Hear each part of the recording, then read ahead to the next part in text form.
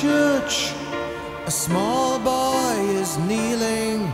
He prays to a God he does not know, he cannot feel.